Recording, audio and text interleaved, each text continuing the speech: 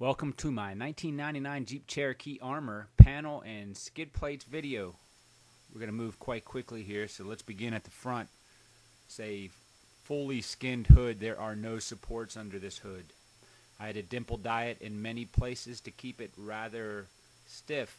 Here's a great view of the Autofab hood pins. There's three across the front, two across the back, they're kind of held down there with some uh, good fishing line because the original stuff breaks very easily. Nice flat black paint across the middle of the hood. You can drive right into the sun. There's zero reflection. It's, uh, it's actually works very well. Three different size dimple dies across the front there. One different size across the back. They uh, al allow a lot of the heat to escape keep the hood temperatures down very, very nicely. You see the cowl there? The cowl has been uh, completely uh, redone, sheet metal, dimple dyed. All the the uh, windshield wiper motors and windshield wipers have been removed. Stainless steel mounting hardware. There's nutserts behind that. It is just not screwed into the sheet metal. There's the wind deflector, sheet metal with the 5 16 round bar top to keep it from becoming flimsy and just flopping around. Uh, vinyl stickers on that I had custom made up. And across the top is the uh, sun visor. You'll see that in a second.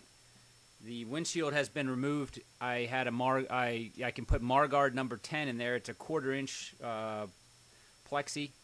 It uh, it's fully uh, it's removable for the summer months. Just mounts into the same bolt holes you see there.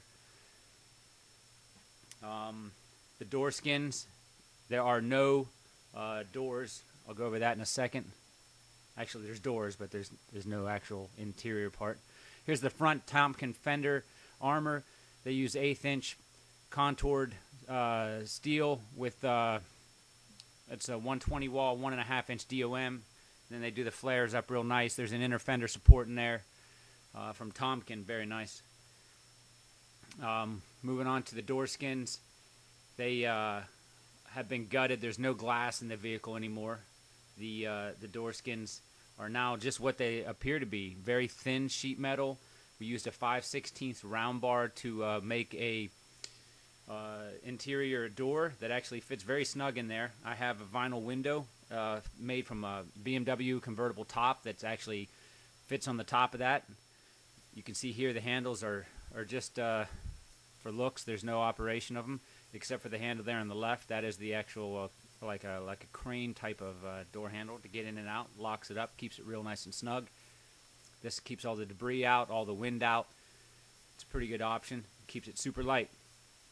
Uh, more vinyl stickers there, and uh, the black is, is vinyl here on the doors. It's not painted.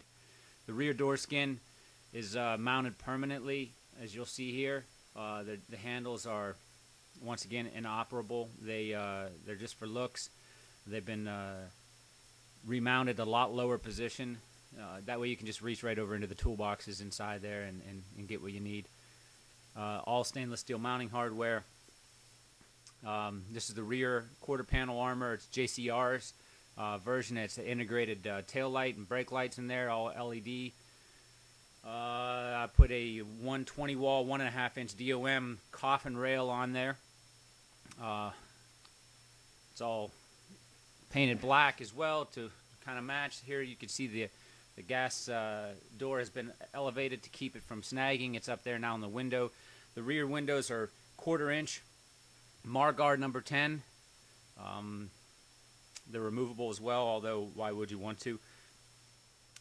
Here's the uh, the rock rails 120 wall, one and a half inch DOM with the 2x6 capped on either end. Um, they're strutted directly into the frame, subframe, which has been supported, I'm sorry, uh, reinforced tip to tail. This is the uh, poly skid plates.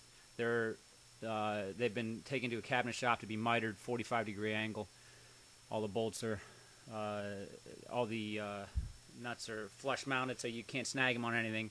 Rusty's uh, transfer case skid plate, that will be removed soon for a a custom belly pan.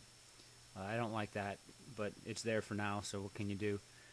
And here's the rear Rusty's uh, gas tank skid plate. Anyway, thanks for watching. Stay tuned for the next video.